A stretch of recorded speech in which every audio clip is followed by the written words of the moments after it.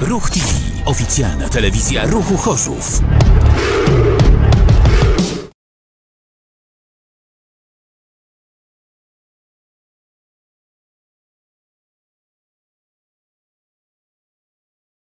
Panie trenerze, szybko zleciało. Seria zimowych sparingów już za nami. Jak trener oceni ten ostatni dzisiejszy ze Skorą Częstochowa?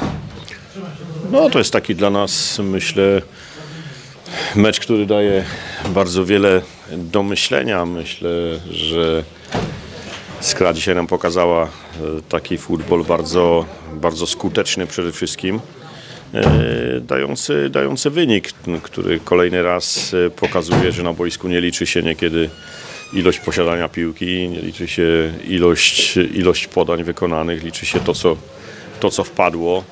My na pewno musimy zmienić swoje zachowania, szczególnie to, które znowu przydarzyło nam się przy, przy pierwszej bramce. Nie może być tak, że 45 minut grasz, grasz dobrze, stwarzasz sytuację, utrzymujesz się przy tej piłce i, i w 45 minucie jakieś rozluźnienie powoduje, że oddajemy piłkę przeciwnikowi, który strzela bramkę i można powiedzieć, że przy przy takim stylu gry, jaki preferuje Skra, przecież doskonale wszyscy wiemy, zespół, który dobrze jest zorganizowany w defensywie, zespół, który y, dobrze przechodzi po przejęciu piłki do kontrataku.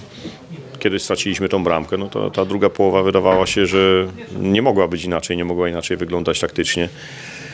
I, I mówię, dla nas to taka na pewno, na pewno nauczka, bo my musimy być świadomi tego, że tutaj większość drużyn, która będzie przyjeżdżać, będzie próbowała właśnie grać w ten sposób i, i trzeba będzie na to znaleźć sposób. My dzisiaj nie wykorzystaliśmy swoich mm, sytuacji, myślę tam doskonałych wręcz tam do przerwy Piotrek Wyroba z kilku metrów gdzieś tam nie trafia w piłkę i, i niekiedy tak będzie, że to będzie ta jedna jedyna, którą trzeba wykorzystać i wygrać mecz 1 do 0. My dzisiaj, my dzisiaj pozwoliliśmy przeciwnikowi na to, żeby żeby zdobył tą pierwszą bramkę i potem było jeszcze gorzej. Ten dzisiejszy mecz rozwiał ostatnie wątpliwości trenera co do tej wyjściowej jedenastki na ligowy już mecz? No tak, dzisiaj jeszcze nie zagrał, nie zagrał Mokrzycki, nie zagrał e, Nawrocki. Mm, To też nasi dwaj, dwaj podstawowi zawodnicy i, i na pewno tutaj jeszcze ten tydzień będziemy chcieli, żeby jak najszybciej wrócili do pełnej sprawności i to na pewno nam jeszcze to pole manewru się zwiększy. Czy na tydzień przed startem e, tej rundy wiosennej są jakieś powody do niepokoju? powody do niepokoju. No.